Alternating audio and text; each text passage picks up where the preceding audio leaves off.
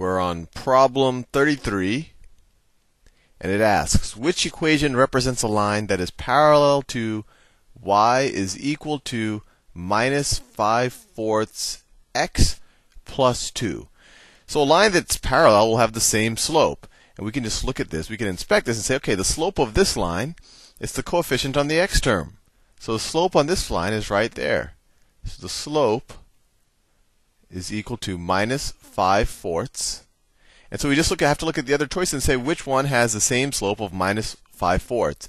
And choice A actually is, choice A is y is equal to minus 5 fourths x plus 1. So it has the exact same slope and it's just shifted down by 1. So A is our choice. Now problem 34. Let me copy and paste this one. Okay. Let's see. I can paste it.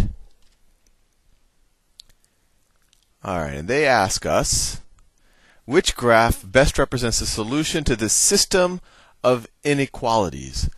Okay, so we could take each of these inequalities and then what we want to do is want we want the area that satisfies both of these inequalities. So let's take a take a look at the first one. And I like to always have it in kind of y is equal to mx plus b form, so let's do that. So we have the first one says 2x is greater than or equal to y minus 1. If we add 1 to both sides, we get 2x plus 1 is greater than or equal to y. And if we just want to write that in a way that we're used to seeing it, y, which I'm just switching it around, y is less than or equal to 2x plus 1.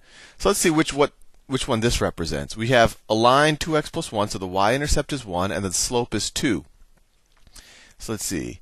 So that's this line here, right? Y-intercept 1, and if we go over to the right 2, we go up 4, right? However much we go to the however much we increase in x, we increase twice as much with y, and that's what the slope tells us, right? And that's this line in this chart, like that. Fair enough. So that's that line, and they're saying y is less than that. So we want the area below that graph, right? So it's not this one, right? This one, they're shading in the area above that line, right? For any x and y that's on the line, they're shading in y is greater than that point. No, but we want y is less than that point. So for any for any y on the point, all the y's less than it satisfy it. So based on the information now, this one seems to be a pretty good candidate. I haven't looked at the other line yet. And frankly, neither of, I guess, no, neither of, maybe this one might be a candidate because this is also less than. Maybe we have to be less than both of these lines, right? This is the line that we just figured out. We're definitely less than it. Maybe we have to be less than that second line as well.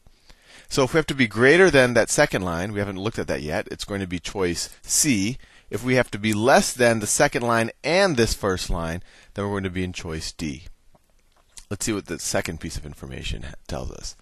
Okay, well, they actually have a typo, and they don't give us enough information to actually. Let me see if I can.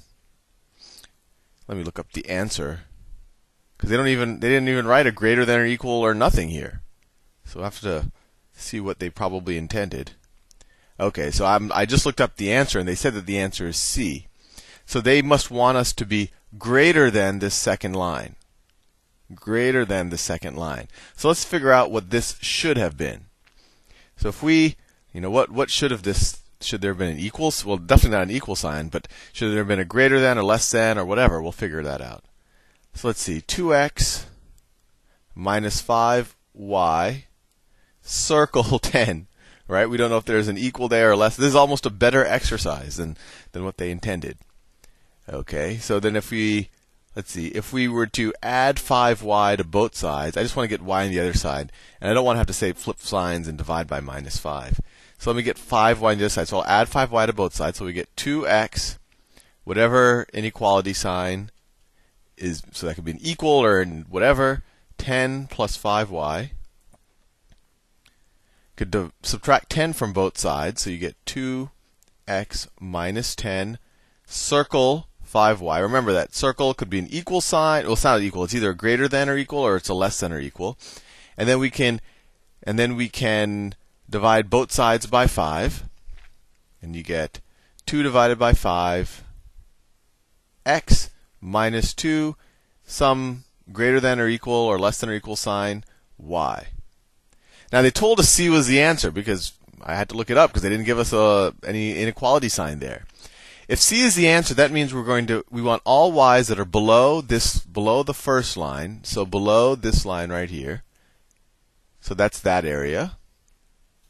And if we're in this gray area, we're all y's that are above this this bottom line, right? So if we're above this bottom line, this bottom line is 2 fifths x minus 2. So we want all y's that are greater than that. Greater than that. Oh, no, sorry. I've done it. I, I just. We want all the y's that are greater than that. y is greater than this thing. So that sign in this problem should have been should have been a less than sign.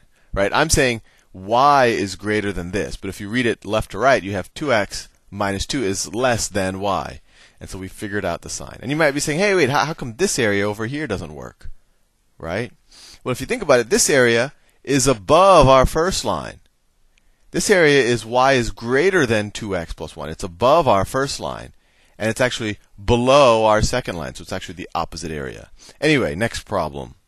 So the answer was C. Next problem. 35.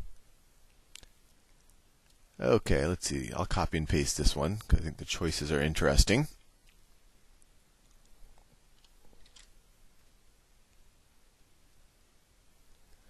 What is the solution to this system of equations? All right, so let's see if we can get it in a in a form that makes it easy to look at. So if we, I'll just let's take that first equation and let's add 3x to both sides. If you add 3x to both sides, that first equation becomes positive 3x plus y is equal to minus 2, right? All I did is I did plus, th- you can't see that. I added plus 3x to both sides of this equation. And of course, that cancels with that. All right. And now let's see, that second equation is 6x plus 2 is equal to minus 2. Well, I'm, you can already see, well, let me, let me do something else to this equation, I think it'll become apparent that these are actually the same line. So if you take this first equation and multiply both sides of it by 2, what do you get?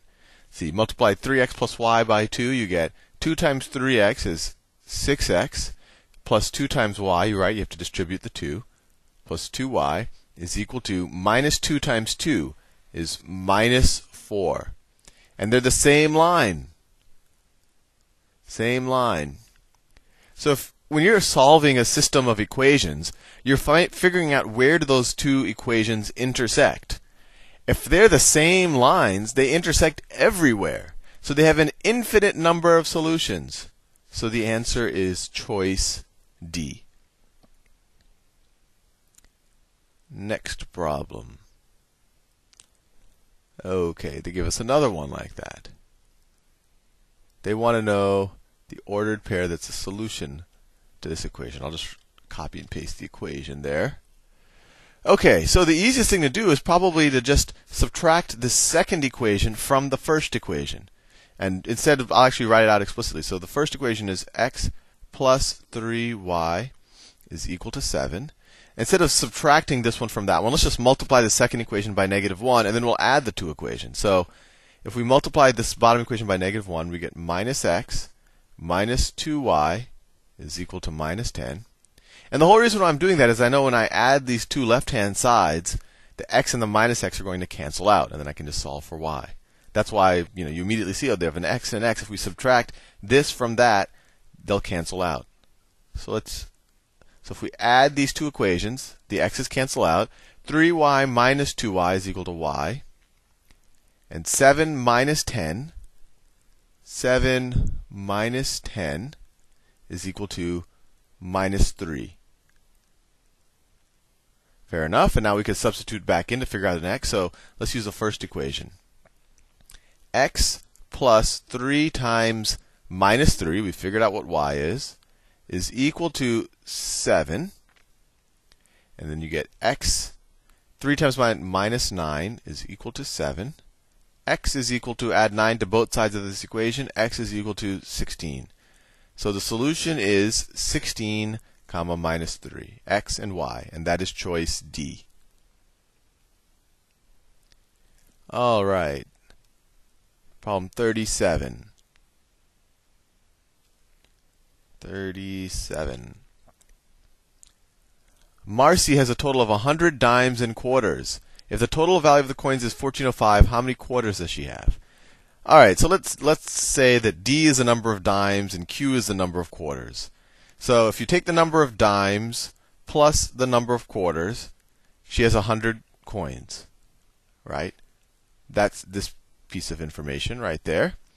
And then the total value of the coins, what's going to be it's going to be 0.10 times the number of dimes plus 0.25 times the number of quarters. And they tell us that that is equal to 1405. 1405. And so, and that's this piece of information. The total value of the coins is 1405. And they say, well, how many quarters does she have? So we just have to solve for Q. So let's do that. So if we want to cancel out the d's, what we could do is we can multiply this top equation by, let's say, minus 0.1, right? And I'm doing that so it cancels out with this, this d right here. Let me do it in a different color. So if I multiply that top equation times minus 0.1, I get minus 0.1d minus 0.1, we can write 1, 0 if I want, d, minus 0.10q is equal to, what's minus 1 tenth of 100? Well, it's minus 10, right? Minus 10. 100 times 0.1 is 10, and we're doing a minus 0.1. All right, now we can add these two equations. 0.1d minus 0.1d, those cancel out. 0.25q minus 0.1q, that's equal to, let me switch colors, that's equal to 0.15q is equal to, and what's 1405 minus 10? Well, that's equal to $4.05. Just to get rid of the decimals, we can multiply both sides of this equation by 100, right? So we'll get 15q. 15q is equal to 405. And then we just say q. So q, we divide both sides of this by 15. And so what is, how many times does 15 go into 405? 15 goes into 40, what, 2 times? 2 times 15 is 30 get a 10, 105. 15 goes into 105 seven times, I think. 7 times 5 is 35. 7 times 1 is 7, plus 3 is 10, right? 27. So Q is equal to 27. So Marcy has 27 quarters. Anyway, see you in the next video.